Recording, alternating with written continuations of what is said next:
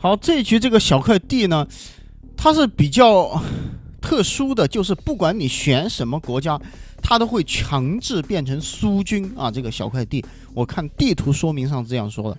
好，瞧见没？我明明是英国盟军基地，展开就变成苏军基地了。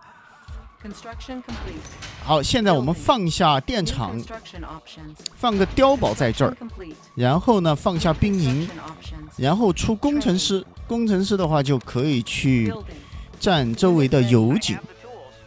对，其他人有有一个，他是首选油里是啥意思？即使是油里，他也会变成强制变成苏军啊。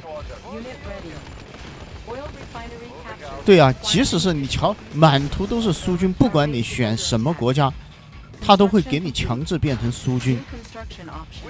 那这样选国家意义何在呢？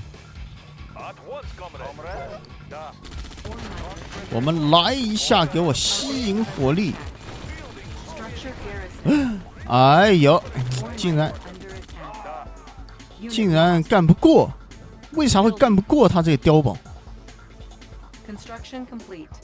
我知道了，你瞧，这个红色选有理，这样的话，他卖建筑物就会卖出来一个有理新兵，看到没？有理新兵叫进碉堡的话，那就那就太牛逼了！哎呀，然后是生死斗模式，生死斗模式的话就没有空军，没有高科。哎，那这样的话，这几家选有理的，他们搞新兵碉堡，那岂不是就就没法打了呀？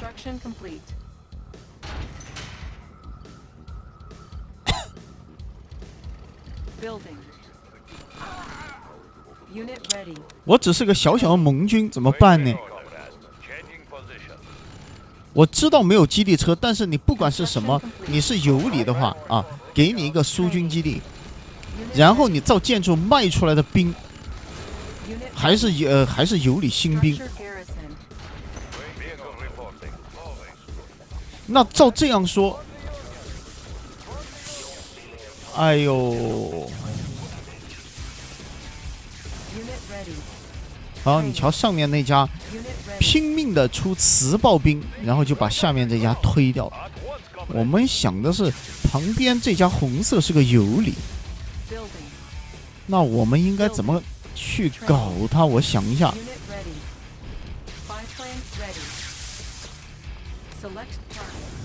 偷基地怎么偷基地呢？你不管偷哪个基地，拿过来都是苏军基地。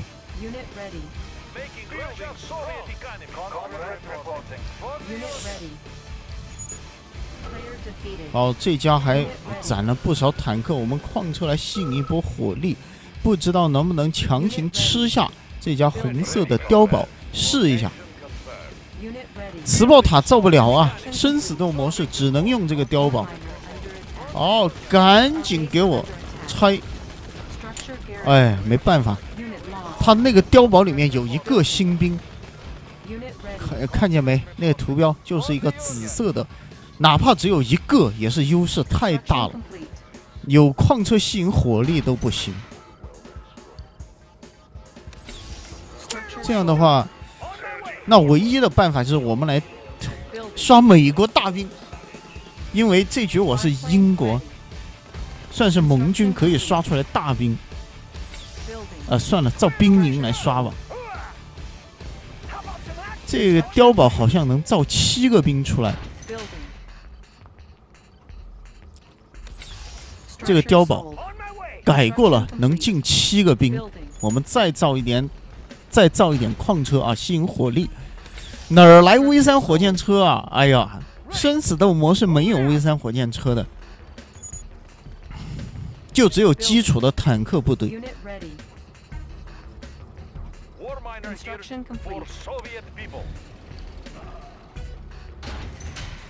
好，上面这家青色是想来，他是想来搞我。哦，抢来强端我这个碉堡，端掉了。他想来抢这个油井。但是这样一来的话，他打着又亏。为什么？虽然他坦克多，但是呢，我们磁暴兵顶在前面，你瞧，他一波坦克自己就没了。大兵地堡有射程优势吗？没有，只要进碉堡的兵射程都是一样的。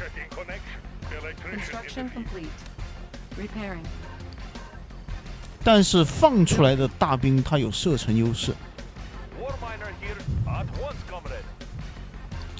好，我们看一下这个矿车，我们继续造个维修厂修一下，然后再嗯，残血了一格血的坦克，犀牛坦克，好可怜。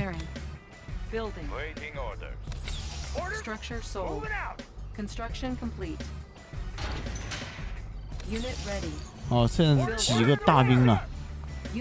五个，六个，再造一个，就七个就满了。哎，这是谁？玩不起了。哦，你瞧黄色，他这个地堡，不用说里面有有里新兵的，那我们现在用大兵来搞他。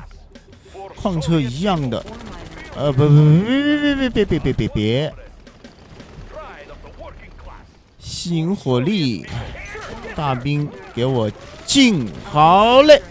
瞧，他只有一个有理新兵，这样的话，我们就用大兵碉堡把他的小兵碉堡干掉。但是红色呢，他还有有理新兵在这儿，看到没？他要刷有理新兵还是很容易的。我们继续，矿车。吸引伤害，哎，好，这样把它干掉。行，现在呢，他的犀牛坦克过来了，想要强端我碉堡吗？那就送掉。哎，瞧，送的跟个啥样的？在战术面前，即便是你的有理新兵碉堡日月无光，我也能创造光明，因为我相信光的存在，我本身。将能化作一道光，照亮战场，走向胜利。好，接下来是两家，橙色呢，自然是不足为惧的，主要是后面那个黄色，不用想，黄色他自己就是原始阵营就是有理，所以这个有理新兵碉堡，嘿嘿。就他认为应该是固若金汤吧，但是呢，刚才这一波，瞧我们的大兵这么多三级了，这么多三级大兵吃射程，毕竟啊，盟军算是这个游戏制作组组的亲儿子，他们怎么能亏待盟军呢？是吧？家里面还是需要把这些防御搞好。动员兵碉堡，你不说进攻嘛，至少守守家是没问题的。然后兵营五百块钱一个，那么。造了卖了换一半钱就是二百五，所以美国大兵这局造下来就相当于二百五十块钱一个。对面还有三级的磁暴兵，那能怎么样呢？在美国大兵面前，你瞧他磁暴兵来多少都是送。我造一个卖一个，嘿嘿，算了，把基地车再往前面拖，拖到前面去造卖。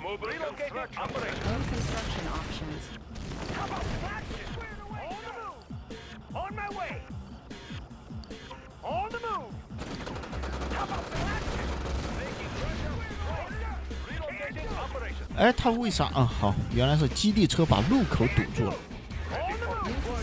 行，我们再来继续造了卖，造了卖，就能刷美国大兵，然后尽量的把这美国大兵桥升到三级。三级的越多，我们就越不怕黄色的新兵碉堡。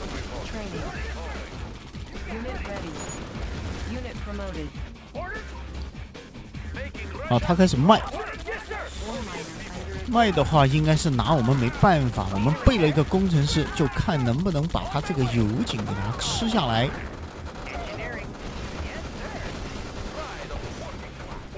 对面呢，现在他还没有三级的大兵，所以呢，他现在发现应该也已经晚了。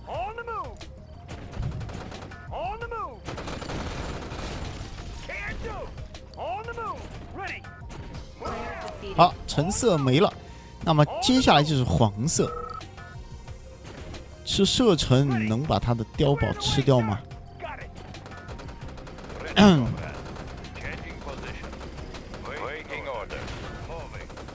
好，他起围墙，瞧，全是有里新兵。哎呦呦呦，这个得想个办法。好啊，晚上好啊，觉得不错的，可以给我一点小小的打赏吗？现在该是勾心斗角的时候了。好，瞧，拿捏射程，他的这么多有理新兵碉堡，就只能看着。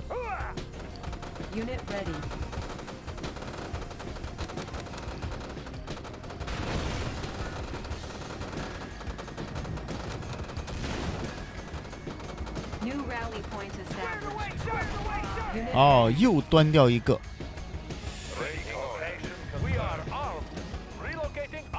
他的新兵碉堡也不好，不好使了，对吧？那么在这样的情况下，嗯，他还要继续出碉堡。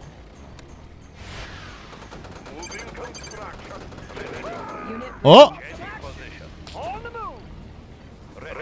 我知道了，这个图雷达它有一个心灵控制。有有那个心灵控制的功能，可以当游离来用。那接下来怎么办？哼哼，黄色他终究还是大意了。我发现一个容易进攻的路，他并没有在基地最外圈搞围墙。如果他在自己基地外圈搞围墙，然后往。进一步再放碉堡的话，我就拿他一点办法都没有。但是他终究还是过于张狂，没有搞围墙，这样一来，我们变得有机可乘。但是机会只有一次，不能让他反应过来啊！到目前为止，我觉得他还是应该没有反应过来。先把他外面碉堡干掉啊！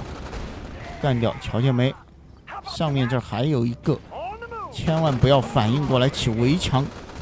好，他开始起围墙了，但是现在已经晚了。冲进你家，奇袭，